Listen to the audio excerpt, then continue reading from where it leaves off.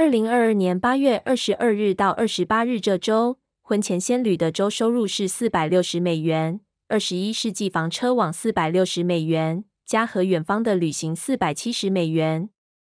冒险雷探长的周收入是五百一十美元，幻影旅行记六百二十美元，阿克在路上六百八十美元，Hunting Archer 的周收入是七百三十美元，浪人峰哥七百四十美元。穷游的年华七百五十美元。旅行频道中的第十五名，阿龙的旅行周收入七百五十美元。第十四名，老弟环游记周收入七百七十美元。第十三名，卓越穷游记周收入七百九十美元。